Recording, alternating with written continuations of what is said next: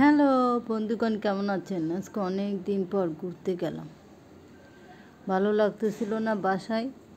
দেখি গাড়ি ঘোড়াও চলে না, বাইরে বের হলাম, বাইরে বেরিয়ে হাই রে, কোনো গাড়ি পাই না। পরে গেলাম কোথায় যাব কোথায় যাব কোথায় যাব? কোথাও খুঁজে পাচ্ছি না। আমার বাসায় আজকে আমার বোন আসছিল, এখন এড়ে নিয়ে বাইরে যাব, এখন কাছে, আশেপাশে কোনো কিছু আসে কি না, যেখান থেকে গাড়ি যাবে কিন্তু রিক্সা দিয়ে যাওয়া যায়, এরকম একটা জায়গা খুঁজছিলাম। আমি নিজেও জানি না, এখানে যে তিনশো ফিট আমাদের আশেপাশেই আছে, এরকম আসলে আমি জানি না, বেশি দূর না, আমার আমার বাসা থেকে প্রায় আধা ঘণ্টা, এক ঘণ্টার রাস্তা এরকম।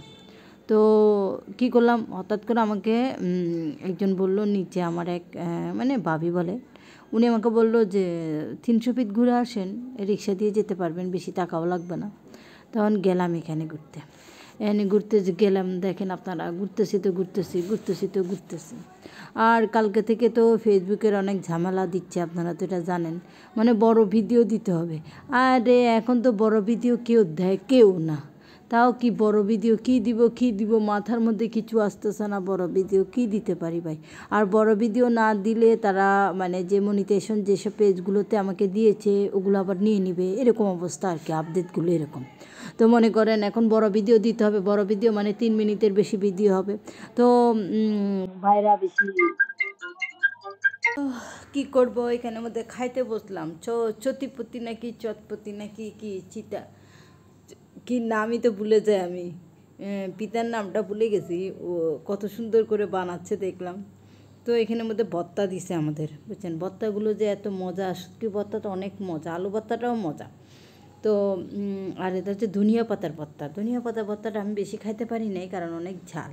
বেশি ঝাল খাইতে পারি না তো আমি যে মহিলা ছিলেন ওনাকে বারবার বলছিলাম যে আমাকে আলু ভর্তাটা দিয়েন না, আলু ভর্তাটা দিয়েন না।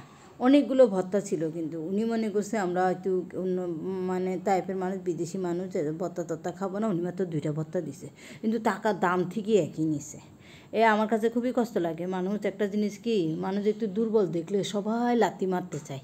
মানে মানুষ একটু এই জিনিসটা আসলে জানি না, শুধু বাংলাদেশের এই স্বভাবটা বেশি নাকি দেশের বাইরেও এদের এদের এরকম।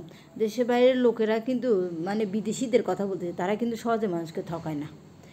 আমি এই জিনিসটা লক্ষ্য করছি, সহজে ঠকায় না। কিন্তু বাংলাদেশের কিছু কিছু, সবাই না, কিছু কিছু মানুষ আছে মানে আপনাকে যখনই দেখবে একটু বোকা, আপনি অনেক কিছু বুঝেন না মানে এত দুর্বল মনে করে, এই দুর্বলতার কারণে তারা আপনাকে ঠকাবে। তারা আমাদের থেকে ঠিকই দাম নিছে, কিন্তু আমাদের ইয়া, যতটুকু আমাদের দেওয়া দরকার ছিল, ততটুকু তারা আমাদেরকে দেয় নাই। শুধু চাপা ভত্তা দিছে, আর কিছুই দেয় নাই। আর আলু ভর্তাটা যে নিষেধ করছি তাও আলু ভর্তা দিয়েছে। ধনিয়া ভর্তা এরা নিজেরা দিছে আর আর অনেক ভর্তা ছিল। তারপর আপনার উম, কি আরও নামও জানি না আমি অনেক ভর্তা অনেক রকম ভর্তা ছিল। আমার কাছে শুধু খারাপ লাগে এটা আমি যতবারই দেখছি কোনো রিক্সায় উঠলেও যদি আপনি বলেন যে আমি আসলে জায়গাটা চিনি না আমাকে নিয়ে যান এমন দাম ধরবে মানে আপনি বলার বাইরে যে দাম সে মানে কখনো একটা চেনা পরিচিত মানুষের কাছে সে নিতে পারবে না। শক্ত মানুষের কাছে সে কখনো নিতে পারবে না। যে চিনে না একটু বোকা টাইপের, একটু উল্লু টাইপের, এসব মানুষের থেকে তারা বেশি টাকা পয়সা নেয়। এই জিনিসটা আমি প্রায় লক্ষ্য করছি। তারা তারা কেন এই জিনিসটা করে আসলে জানি না। আমরা সবসময় মনে করি যে গরিব মানুষ আসলে ভালো হবে।